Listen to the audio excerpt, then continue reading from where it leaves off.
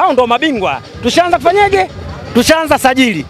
Eh, wakati sisi tunasajili sana nyinyi waandishi wa habari mwe mna, mnaweka klipu na kutuza klipu hizi, wakati sisi tayari tushaanza kutangaza majembe. Tena umesahau sio kutoka JKT tu, tumeleta mpaka mtaalamu wa, wa, kusoma video kwamba leo tucheze mpira wa Algeria, leo tucheze mpira wa Manchester, leo tucheze mpira wa Arsenali, leo tucheze mpira wa Kibrazili, leo tucheze mpira timu ya, ya, ya Ufaransa. Na hii sasa upande wa pili kule naona washaanza kuruka makida makida, wakati sisi tushaanza kuleta vyombo kwamba tunazidi kuimarisha sajili hizi kuelekea kuelekea kuelekea mzunguko wa pili, maana dirisha dogo na ni mzunguko wa kwanza hapa, kesho kutwa tunaufuta, tunaanza mzunguko wa pili. Sasa wakati tunakwenda sisi katika sajili hizi, tushaanza kudondosha mchezaji mmoja na mtu na mtaalamu wa kusoma video, wenzetu kwa tunaona wanalukaluka, wamewasajili misondo sasa naombeni mtuze klipu hizi, baadaye tutakapokuja kutangaza ubingwa, alafu tutakapokuja kuwadufua mwezi wa pili kwenye, kwenye mzunguko wa pili kwenye ligi kuu, wasija kaenda tena TAKUKURU kule, kwa sababu hata hii ya juzi tuliwa- tuwadondoshea kontena la magoli, mwisho wa siku walienda TAKUKURU kule. Mwisho wa siku tukaja kwenye jibu tukawauliza, tukasema kipindi sisi tunasajili kwenye dirisha kubwa, nyinyi mlienda kuzurura wapi? Walienda kuzurura wapi kule? Wale Uturuki, mlienda kuzurura Uturuki kule. Sisi tukawa unafanya usajili, sisi tulitega antena yetu pale Kigamboni, wakawa wanatucheka nasema Yanga imefuria, angalau ameweka kambi Kigamboni, watu tulikuwa tunazumu tupakome. Uh, yao yao. Tukawa tunazumu tu wachezaji, lakini wao walienda Uturuki kuzurura pale. Mwisho wa siku sasa tulivyokuja kuwagonga zile tano zile, mwisho wa siku wanakimbilia TAKUKURU. Sasa na kipindi hiki tena dirisha dogo lishafunguliwa, mpaka sasa hivi injinia nitafutie. Bado kutoka kwenye mechi ile ya kimataifa tulivyocheza na Al Ahly hapa kwenye mechi ya Mediama, tunajua engineer kwa kila mechi za Yanga za kimataifa lazima awepo, lakini tu, tulivyotoka kwenye mechi ya Al Ahly Mediama kula tujamuona. Sasa mpaka sasa hivi engineer tunajiuliza, engineer hayupo. Sasa ana- ana- ana- ana- anazidi kushusha vyombo tena za kimataifa, msije mkashangaa, achana na mchezaji wa KU JKT sijui JKU msije mkashangaa Fernandes akatua ndani ya Yanga, msije mkashangaa Benzema akatua ndani ya Yanga, alafu wale watoto wale wanasajili wale wavaa makoti wale, nyewe wenyewe mmeshuhudia. Sasa klipu hizi waandishi wa habari nyewe wenyewe naombeni mzituze, ili tutakapokuja kuwadufua kontena lingine la magoli Jumatano, je, ukashangaa kaenda kwa mama kule.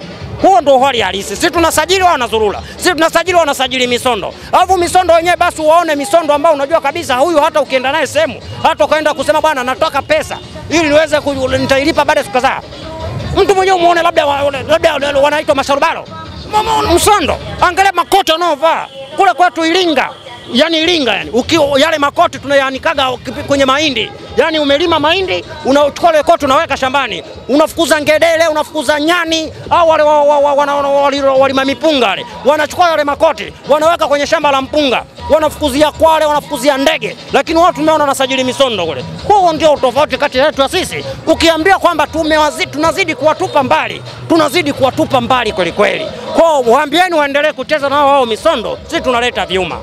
Ukizungumzia misondo, wakati tunaona jana Benchika ameshakiwasha tayari, kamchakaza mtu wa utatu, haikupi pressure yote? yule kocha wao Mchika na he, yani mimi nilitaka kushangaa, wewe mwandishi wa habari usiniulize swali hilo jamani. Watoto wa Mudi hawa hawa kwenye alivyokujaga yule nani kocha wao yule nani alomfukuzaga na, na, na mabega akaenda kupanda kimbinyiko Mbezi, Robert mwenye jina jepesi kama mgogo, walimsifia sifia wewe, akasema kocha bora, kocha bora alivyoshinda shinda nyuma kwa mpaka akaenda ile kombe nani kule, kombe la miguu ya kuku kule nani, kombe la wapapa kama mbio za mwenge kule mkokwani Tanga, wakasema kocha safi. Tulipokwenda kukutana tarehe tano tukamwamba tano pale, yule kocha ndo kitimtimu ndo kilipoanzia pale pale mpaka yule kocha nani, mwa- nani mwenye kichwa wao Mangungu akamfanya mpaka leo anavaa helmet la bodaboda, kisa goli tano kontena la goli la, la, la kontena la migoli mitano. Sasa wakamsifia sifia tulivyomlamba tano timbuli lilipoanzia. Sasa huyu alomleta mchicha, huyu mchicha huyu, mimi nimemfuatilia mechi zake karibu kama tatu hivi, na hisi kwenye mechi ya kwanza kusimamia ilikuwa ya, ya, ya, ya klabu bingwa kwenye mechi walivyocheza walivyocheza hapa. Pia sare. Kaunguruma kifurufumbi cha mawe pale, walikimbizana mechi imesha saa 12 wakaja kutoa na saa sita usiku pale, wamekwenda kwenda kucheza na Wydad Casablanca kalambwa moja kule, kocha huyu ambao namsifia kalambwa moja kule. Alafu sasa jana sasa wamekwenda kucheza mechi ya ligi kuu, wamechukua pesa kwenye mpesa wakamuonga refa. Hebu angalia nyinyi, mkitaka mjue kabisa ile mechi ya mchongo, angalia goli la kwanza mchongo. Jamani, ana nyinyi wakishinda mechi wakiwa wanatupigia kelele wale wafu, mwe mnawauliza hivi, tangia lini penati ikapigwa mara mbili? Angalia, mimi naweza nikasema kwenye mechi ile jana watoto wa Mudi dhidi ya wale nani wale Kagera Sukari ekewa haya mimi naweza kusema big the match goalkeeper wa Kagera. Angalia alivyo dive kuifuata ile penalty. akapangua, alafu nyimbo atopa muda akaanza kuimba kwenye majukwaa, irudiwe, irudiwe, irudiwe, irudiwe. Baba refa yule kwa sababu mchongo penalti karudiwa, ndio anapata ile goli Saido. Ukija kuangalia kwenye goli la pili la Kanuti alishajenga nyumba, sio kibanda, yani offside, lakini refa yule kwa sababu mchongo akasema no offside, hiyo ni on offside. Goli goli la pili la tatu la la la, la Boko ah, ile sadaka lawe. Yani sasa huku tunavyowashambulia pinzani kama ninavyomshambulia mpinzani, Mziza ampe, ampe, ampe nani ampe pasi Msonda au Msonda ampe pasi Mziza ndakafunge, ndo alichojifanya yule nani si beki ule wa, wa, wa Kagera kumgia Boko, ndo jana wanapiga kelele wanasema kocha yuko vizuri.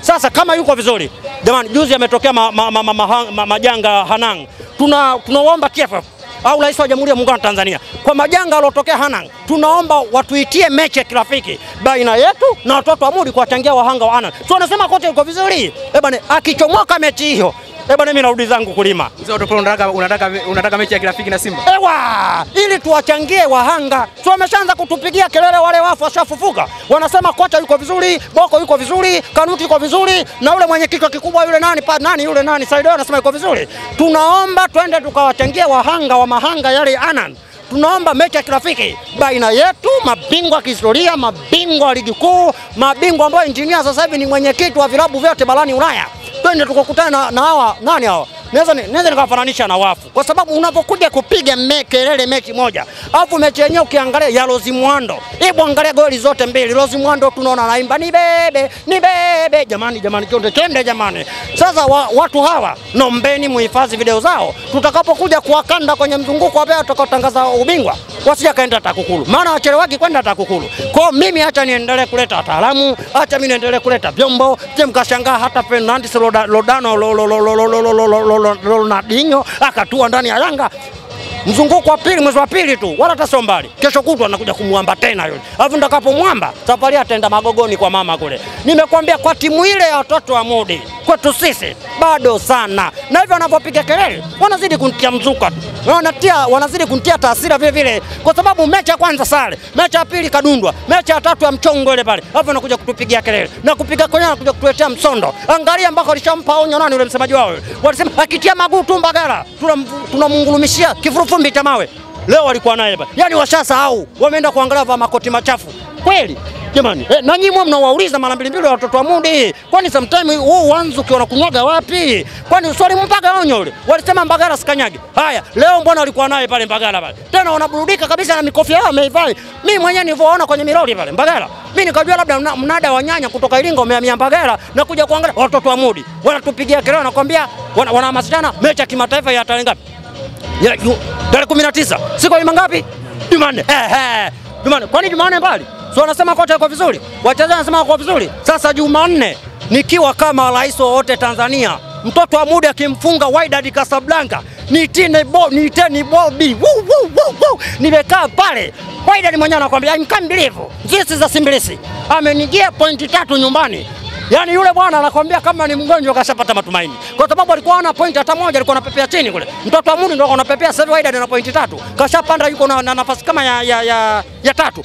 Akija kimdufua siku ya Jumangapi, tarehe 19 hapa anakuwa na pointi zake sita. Mtoto wa Mudi anatokea wapi siku ya Jumanne? Kwa hiyo waambieni watoto wa Mudi wasipige kelele sana, tunasema hili chocho wapitagi Nakwambia ukipita lazima ukutane nalo. Jumanne sio mbali, tutamwona huyo mchicha kama tatubwa mechi hiyo. Mzoto Polo, tuizungumzie Yanga katika michuano ya klabu bingwa barani Afrika. Labda wananchi walishakata tamaa kuonekana na matumaini ya Gamondi kama anafifia sasa. Pila Gamondi pila Argentina. Nikiwa kama rais wote Tanzania, ukimwona mtu anakata tamaa kuelekea michuano ya kimataifa, nasema tufike robo fainali, huyo mtoto wa Mudi ameva, kama amevaa jezi ya Yanga, amevalishwa tu jezi ya Yanga, anaonekana na yeye ni mwana kwanza ukimwona anaongea hivyo, wewe msaji mwambie, muulize kadi ya wanachama unayo? Jamani, unakataje tamaa mpaka sasa hivi? Not street, not surrender. Unakwambia hivi, ukiangalia kundi letu sisi bado lina nafasi kubwa kusonga sisi. Ukiangalia mpinzani wangu Mediama ambaye anakuja kucheza naye kesho kutwa siku ya Jumatano hapa, ana pointi zake nne. Sawa?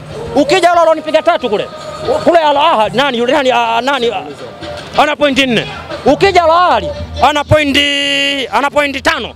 Sasa ukiangalia hawa wote wenye pointi nne, ukimwacha na mwenye pointi bado na yeye mwenyewe moyo unahema. Uf, uf, kwa sababu mi najua nikimdufua hapa Mediama siku ya Jumatano nafikisha pointi zangu tano, natoka huku chini nakopepea huku na kwenda kukamata nafasi ya pili. Ina maana natoka Al Ahly nafuata mimi na, na pointi zangu tano nalingana na Al Ahly. Sasa inategemeana kwenye mchezo kati ya Al Ahly na wale Bezdad sijui. Kwa hiyo kama atashinda Al Ahly tena kwenye mchezo huo, ina maana yule Al Ahly anakuwa na pointi nane, yule anabaki na pointi nne zile zile. Ina maana mimi nakuwa na pointi zangu tano. Sawa, niko nafasi ya pili hapa. Kipindi hicho sasa niko hapa hapa, sitoki mimi. Wao anakwambia si umamunu ndio Benjamin Mkapa anakuja yule alonipiga tatu yule anakuja kumuivisha kama ubwabwa anaiva juu na chini yule, nakuwa namnyakua nachukua nachukua pointi zangu tatu, nakuwa na pointi zangu nane. Wakati huo wale wote wameona wanabebakia na pointi ngapi? Kwanza huyu Mediama na mwenzia anabaki na pointi zao ngapi?